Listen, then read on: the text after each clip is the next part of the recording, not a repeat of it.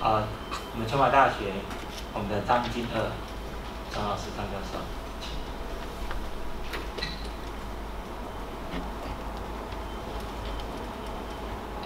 呃，两位委员，呃，在座各位主持人，大家午安，大家好。呃，很高兴有机会来参加这场公听会。呃，我想，呃，因为长期做住宅方面研究了哈，我想先想要理一点清楚的是，我们社会住宅的目标，并不是新建社会住宅的数量，我们社会住宅的目标是在帮助弱势家庭的户数，OK，多少个家社社会家庭户数。所以从这个角度来看。我们看到现在住宅法里面，其实真正社会主义新建之后，有多少个是给弱势家庭呢？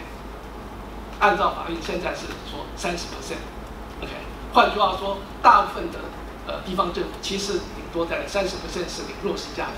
当里面包括社会弱势跟经济弱势。换句话说，百分之七十的不是社会弱势，不是所谓弱势家庭。那我们这样子花那么多钱。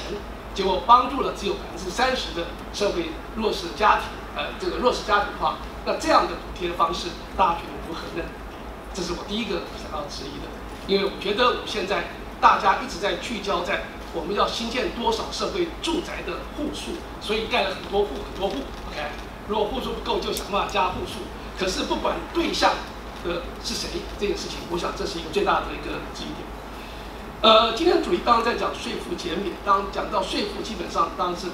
住宅补贴的一环。那住宅补贴里面重要的就是效率跟公平这两件事情，怎么样补贴比较公平，怎么样补贴比较效率？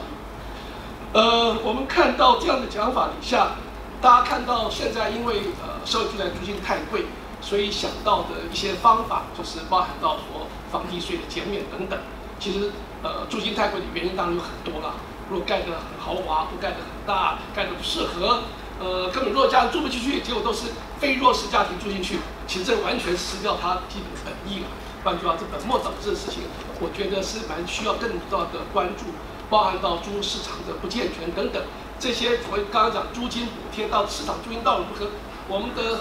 实际上跟二点零其实对租市场的这个资讯也都没有完全健全嘛，这些都是。根本上的问题如果没有去根本解决，我们现在谈只是在这样的呃房屋税、地价税的减免，让给这个社会住宅，我觉得是还有很多可以讨论的空间的。好，我刚刚提到，呃，社会住宅刚刚讲，如果我们要对这一次的主题叫房屋税、地价税这个地方政府的减免的情况下，呃，是对那个房屋减免哦，并不对家庭减免啊。OK。那百分之七十的其实并不是弱势家庭，就他也被减免。你觉得拿我们大众钱去减免这些合不合理？呃，我坦白讲，我并不太呃觉得支持这样的讲法。换句话说，如果是住在里面是三十 percent 那个弱势，那我其实我很甘心，我很愿意，因为他真的弱势，他需要被减免。所以我们减免变成对象是对物，不是对人。OK，负担的可负担是那个人要负担，并不是物要负担。结果盖了很多房子，结果都不是。弱势的在住的话，那而且豪宅如果盖的比较好的话，那结果你还减免他，哎，好像怪怪的，对不对？啊，这在税税的方法上讲公平的情况下，好像不太对。所以我其实是比较主张，是针对假设住在里面的人是弱势的，那我们减免他的这个这个这个怎么样？就是他的这个税负减免，这是合理的。所以这是第一个。呃，第二个大家要想清楚，其实我们只拿大众的钱，这个。房屋税价就是地方政府的，那当中央定这法令，地方政府要买单，这个道理合不合理？那中央怎么补助地方？呃，其实坦白说，真正比较好的方法是，其实拿比较有能力的人来补贴比较没有能力的，换句话说，有钱的人或很多房子的人来补贴这个原来没有房子的人或者没有办法这个做到房子的人，那当然是地方政府其实是坐在金鸡母上，他没有用到他的他的钱，那是那就这样。我们讲讲叫囤房税，因为假设你对比较有多的房子课他比较重的税，那他的钱就可以蹲交出来，那他的税就补贴那跟呃住在弱势呃是的住在弱势的社会住宅里面住在弱势的的的家庭的话，那样的交叉补贴才是比较公平的。如果拿我们大众的钱去补贴一般有一有百分之七十都是弱势的，那百分之三十弱势的，那用大众钱，那反而不是有钱人他也没有增加跟他更更多他要负担的，这样公平吗。换句话说，其实我还是比较主张，呃，由地方政府、中央政府因为中央税基本上地方政府、中央都要负责，因为税率是中央政府可以去去去去定定，税基地方政府都要去负担。那中央可以用统筹分配款要求地方政府，如果不做，我就补贴就减少，统筹分配减少嘛。这地方政府就逼着他必须要做地方税。那囤房税是对有钱的人苛征的哦，对不对？他不是对一般所有人都都要负担嘛。